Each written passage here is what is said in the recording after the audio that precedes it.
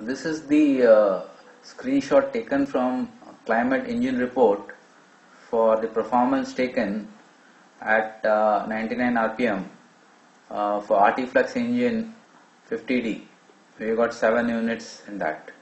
So the, if you see the, if you can see here the engine data and uh, engine uh, vessel is HDM 2326. This is um, uh, the ship which we have performance taken average is 50 strokes.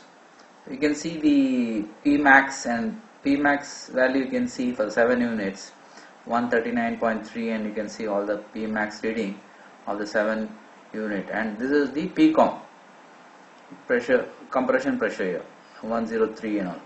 And you can see the MIP value that is mean effective pressure 16.5 bar you can see various reading 15.6 this various readings you can see.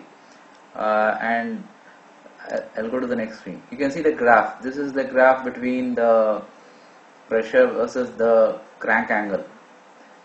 All all the units put together and this is separate one by one. Different color codes are shown here. And you can see this is between the cylinder pressure and the volume. uh, perfectly the performance was very good. There was no problem. You can again see this one uh, showing separately for each of the units. You can see this so the whole report is very good. So nothing wrong in it. I hope you understood. Thank you